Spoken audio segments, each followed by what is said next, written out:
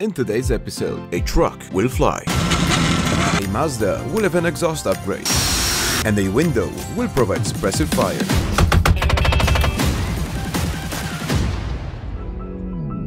I am sure that you have seen those images of insects being preserved for millions of years. Well, someone at Mercedes had the brilliant idea to preserve a original G-Class from 1979 in a huge resin cube. The G-Class was placed in a huge form that was step by step filled up with resin. Then it got polished. It ended up weighing over 52 tons. I don't know about you, but to me the thought that this car could potentially outlive humanity is just fascinating. This is marketing done right. This is in my opinion one of the coolest Miatas on YouTube, a 2004 second generation Mazdaspeed Edition that burned down in a garage fire. However, the owner decided to resurrect it as a drift car. Now that's a badass design.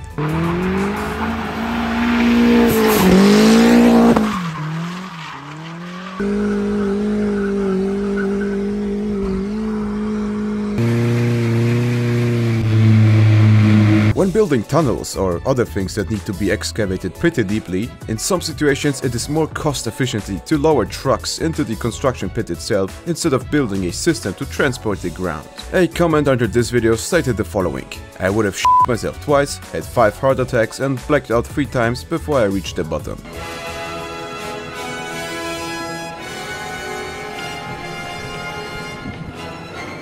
Most car guys not only dream of cars themselves, but their own place to bash and store them. This is a dream of mine. A house, pool and your own racetrack. This specific one is a go-kart track in Greece called the Extreme Kart Larissa.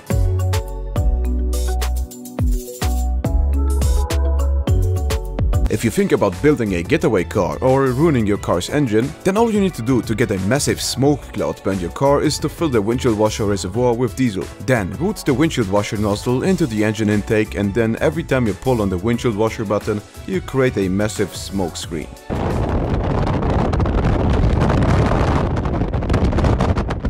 To me, daily driving ATVs or quads or whatever you call them is a bad idea since it combines not only negative aspects of cars but also bikes. But driving them for fun is a whole different story.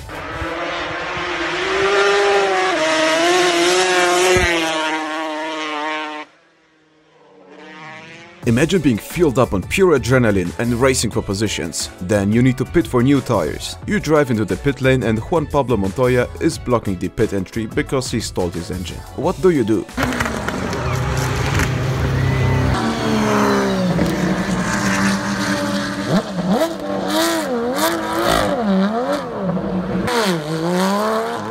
Any trained crane operator would know what would happen before even watching this video until the end. The crane is extended too much and it caused the truck to swing out. The result is, uh, pricey.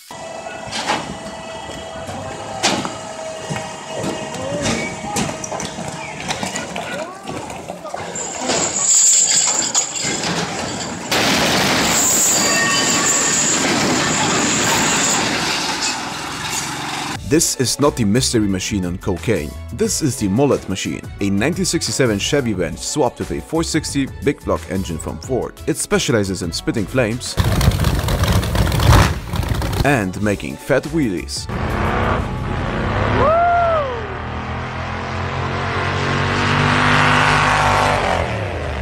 You have learned about the First and Second World War, but did you hear about the Burnout War? It was a war between Australia and Saudi Arabia. In 2013, during an event in Australia, 69 cars managed to do a burnout for 30 seconds at the same time.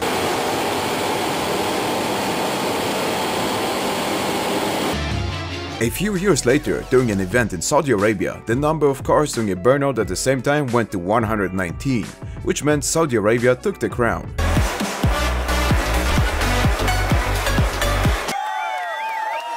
However, two years later, the Australians struck back with 126 cars. This record will never be beaten again, at least officially, because the Guinness World Record Organization will not acknowledge any other attempts due to emission and environmental impact problems. Did you know the power of wind and hurricanes can be measured in horsepower? Have you heard of the Great Window Actuator fight? Changing mags! Well, there has been expansion to it. Remember when a few episodes ago I asked someone to send a video of the 360 camera feature found in some cars? Well, this is the result.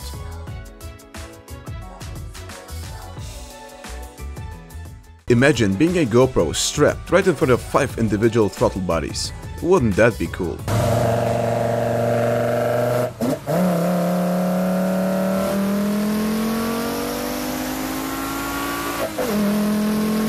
What I personally didn't know is the fact that BMW was producing V12 engines until last year. Here's a luxurious BMW 760 Li making a very luxurious sound, comparable to a Lambo.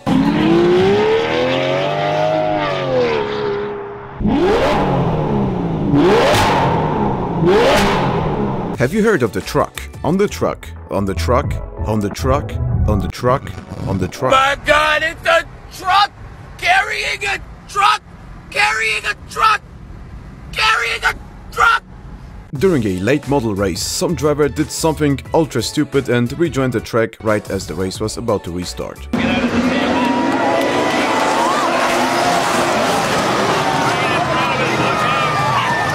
Have you ever seen a suspension that probably costs more than your whole car? Meet the trophy trucks, where the truck itself costs between 250 and $500,000. If you add fuel, tires and other parts you need another $200,000. But at least it's quite satisfying to look at.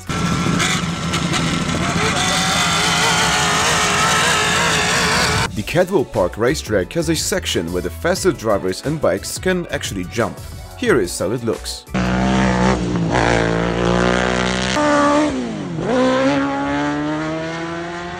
This truck is going to do a burnout. Nothing special, right?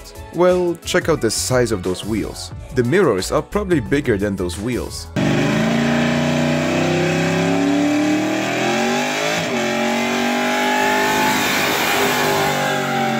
There are some cars that share parts and design with other manufacturers. There are advantages to this, like cheaper production and development cost. But if you like to confuse people, there is another big advantage. You can try something like this.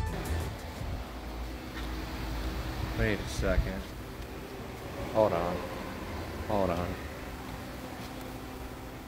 What the fuck? Here's your weekly reminder on what new Formula 1 fans are missing out on. By the way, this was recorded during the last season where V8 engines were used, 2013.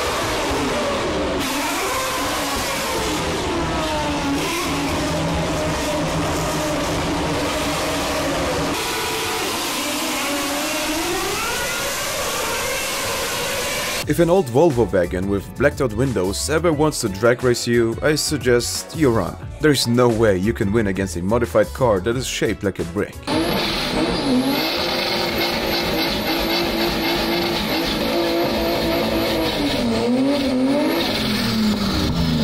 This is the peak of automotive perfection. Ryan Tuerck's V10 powered Toyota Supra, nicknamed the Formula Supra. Why you may ask? Just listen to this.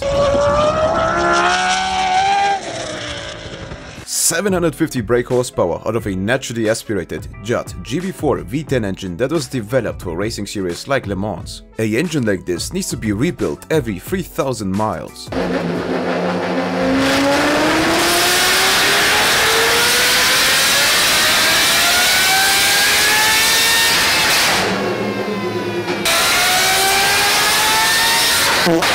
For anyone who has doubts about old American muscle cars resembling boats instead of sports cars when it comes to handling, check out this 1968 Chevy Chevelle SS pushing the limit during a autocross event.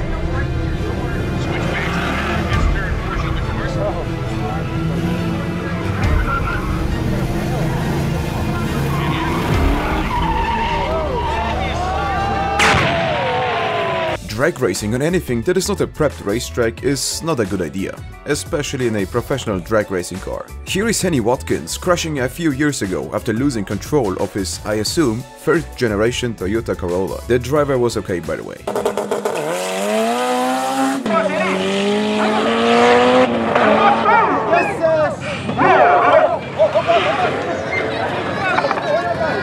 Look at this image. Does this car look photoshopped to you? Well, it isn't. This is a real car, painted by an artist that apparently really likes the Borderlands style.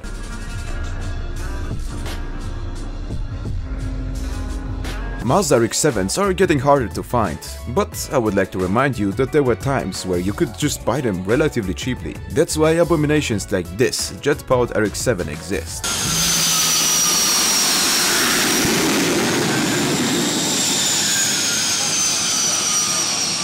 This is Günther Schachermayr, a stuntman from Austria that really likes, uh, Vespas. So far, he did a lot of stuff with them. He bungee jumped from a giant dam. He jumped out of an airplane while riding his Vespa. And he drove up a ski jump ramp.